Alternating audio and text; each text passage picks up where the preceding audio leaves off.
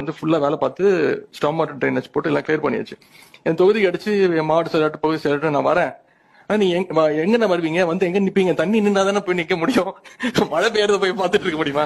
என்னென்ன பா என்னென்ன சொல்றான் பாருங்க கம்பி கட்டுற கதையெல்லாம். அவர் ஒரு. ஒன் ஹவர்ல ஃபோன் பண்ணாங்க. ஃபோன் பண்ணி ஏன் போல இந்த தொகுதிக்கு? அப்பா தொகுதியில் தண்ணியே நிக்கலப்பா. அப்ப வேற ஏதாவது தொகுதிக்கு போக வேண்டியதானே? சரி நான் குளத்தூர் போட்டுமா? குளத்தூருக்கு நான் போறேன்.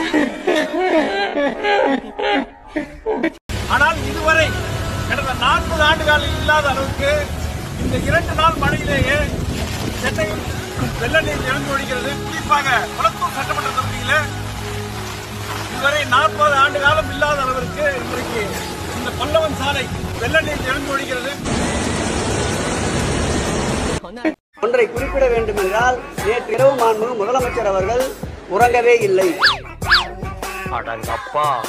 இது உலக நடிப்புடா சாமி. தொடர்ந்து கைபேசியில தொடர்பு கொண்டு எங்கெல்லாம் தண்ணீர் தேங்கி நிற்கின்றதோ அந்த இடங்களுக்கு அமைச்சராகிய அண்ணன் மா. சுப்பிரமணியம் அவர்களையும் மேயர் அவர்களையும் என்னையும் மாநகராட்சி ஆணையரும் தொடர்ந்து இயக்கிக் கொண்டே இருந்தார். தம்பி ஒரு மனுஷன் போய் பேசலாம்.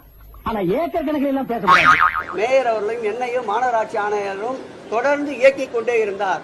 யாரும் இரவு தூங்கவே இல்லை. இதெல்லாம் என்ன பேச்சு இது? அந்த மாதிரி வார்த்தை சொல்லக்கூடாது. பொம்பளை பேசுற பேச்சு இல்லை.